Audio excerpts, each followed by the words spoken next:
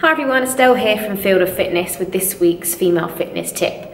And today I wanted to talk about how our relationship with food mirrors the relationship we have with life. So you might have heard the saying, how you do anything is how you do everything.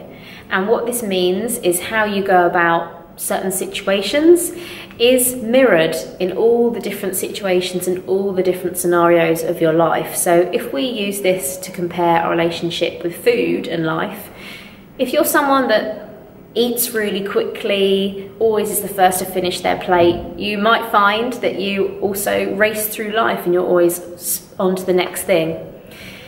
If you're someone that's a really fussy eater, that cuts things out of their diet, that restricts themselves, you might find that you are quite controlled in your day to day life.